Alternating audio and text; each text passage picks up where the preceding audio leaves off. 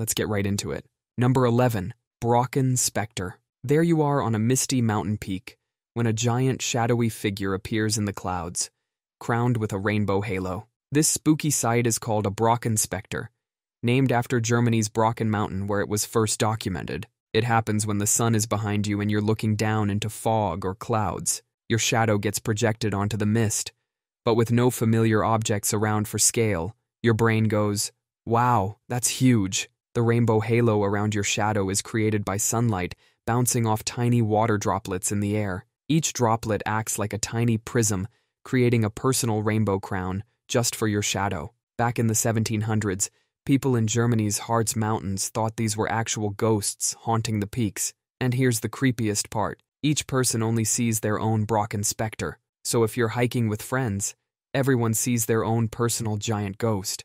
It's like having a VIP pass to your own private horror show in the sky. Number 10. Singing Sand Dunes. The desert stretches endlessly when suddenly you hear what sounds like a massive pipe organ playing from nowhere. These musical dunes can produce sounds so loud they've been mistaken for airplane engines. Some can hit 105 decibels.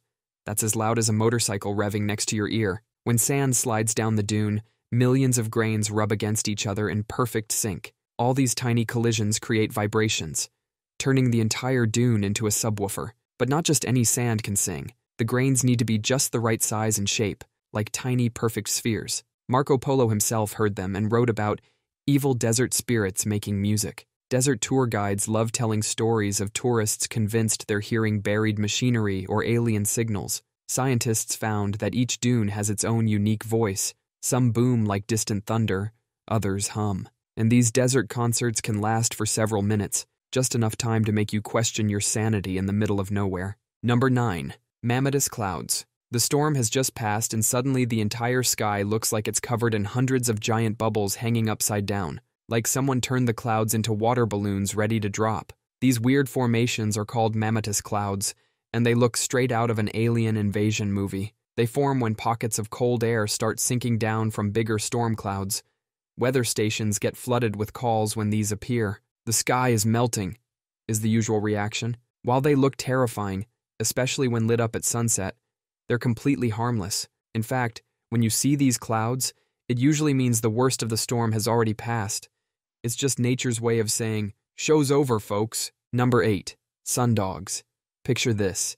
You're sipping your morning coffee when you glance outside and see three suns staring back at you, as if someone copy pasted the sun a couple of times just to mess with your head. These bright spots that look like extra suns are called sundogs. They show up when sunlight passes through clouds full of tiny ice crystals. Each ice crystal acts like a tiny prism, bending the light and creating these fake suns. They always appear about 22 degrees to the left and right of the real sun. Sometimes they can be almost as bright as the sun itself. The best time to catch these solar doppelgangers is during sunrise or sunset. That's when the sunlight hits the ice crystals at just the right angle. If conditions are perfect, they can even have rainbow colors, with red closest to the sun.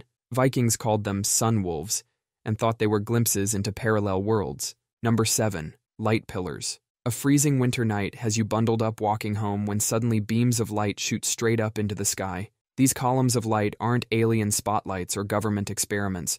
They're just millions of tiny ice crystals doing their best mirror impression. When it's super cold outside, flat hexagonal ice crystals form in the air, these crystals are basically like disco balls, floating down and lining up horizontally like tiny mirrors. When light from street lamps, the moon, or even the sun hits these crystal mirrors, they reflect it up and down. The result is massive beams of light that look like someone's trying to signal Batman. The color matches whatever light they're reflecting. Orange streetlights make orange pillars. LED lights create blue ones. 911 operators in cold cities know these well. Every winter brings a wave of UFO landing beacon reports. The truth is far less exciting, but still pretty cool. Number 6.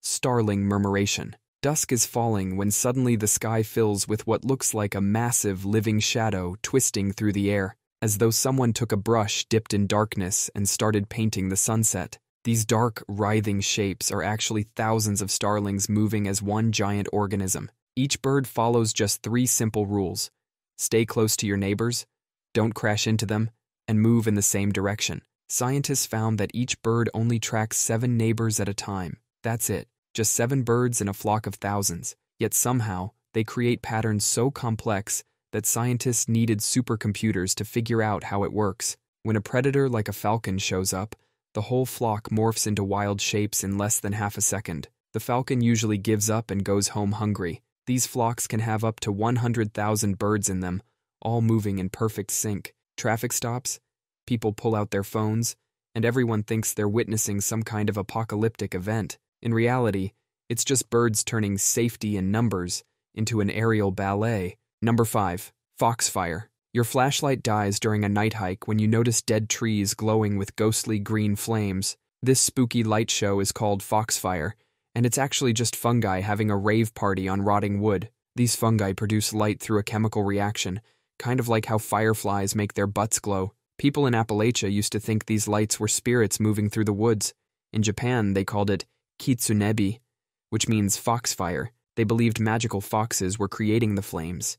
The glow is so gentle you can actually touch it without getting burned. Scientists found that when these fungi break down dead wood, they create a chemical reaction that produces light without heat. They basically invented cold fire millions of years before humans figured out LED lights. Forest rangers have stories of hikers radioing in about ghost fires or alien signals in the woods. Meanwhile, it's just some fungi turning their midnight snack into a light show. Number 4. Penitentes. You're trekking through the Andes when suddenly you're face to face with a field of ice spears pointing at the sky. It's as if someone lined up thousands of frozen daggers ready to impale anyone who dares walk through. These creepy ice formations are called penitentes, named after religious processions where hooded monks would kneel in pointed white hoods. They can grow from a few inches to several feet tall, turning entire mountainsides into a medieval torture chamber. At high altitudes, snow doesn't melt like normal. Instead, it skips the liquid phase and goes straight from solid to gas.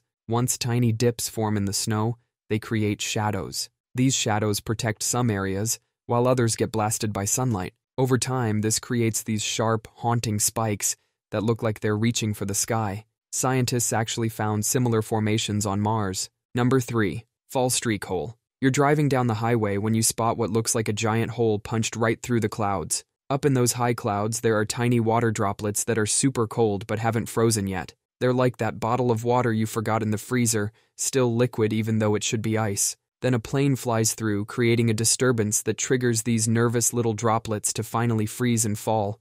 It starts a chain reaction. As more droplets freeze and fall, they leave behind this perfect hole that keeps growing. Air traffic controllers get reports of these all the time. Pilots think they're flying into something supernatural. Turns out it's just physics putting on a show. Number 2. Blood Falls in Antarctica. Antarctica's frozen wasteland stretches forever when suddenly you spot what looks like a massive blood stain oozing down a glacier. This is Blood Falls, a five story high crimson waterfall that looks like Earth got a nasty paper cut. Deep under Taylor Glacier, there's an ancient pool of super salty water that's been trapped there for millions of years. This water is packed with iron, just like the iron in your blood.